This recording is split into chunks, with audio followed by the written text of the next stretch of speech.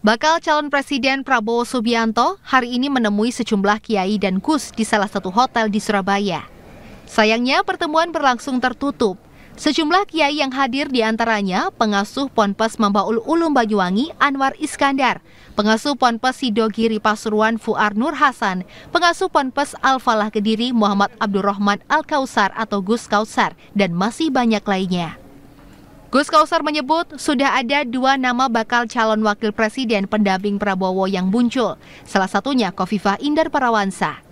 Hanya saja nama itu masih menunggu restu dari Joko Widodo dan para kiai. Selama pertemuan itu, Gus Kausar menegaskan para kiai yang hadir tidak mengusulkan nama pendamping Prabowo. Ini merupakan ajang silaturahmi antara Prabowo dan para kiai di Jatim sekaligus meminta restu.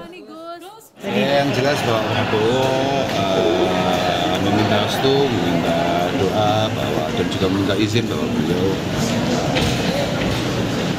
insya Allah memiliki memiliki niatan untuk kemudian mencoba meneruskan apa yang sudah dibangun oleh Pak Jokowi. Ya beliau jelaskan salah satu nama dari beberapa calon wakil presiden yang akan beliau ajak nah, itu tapi pasti akan menunggu restu dari Bapak Jokowi dan Pak Kiai tadi.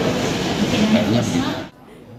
Usai melakukan pertemuan tertutup, Prabowo Subianto tidak banyak berkomentar, termasuk saat ditanya kemungkinan sosok Kofifah sebagai pendampingnya.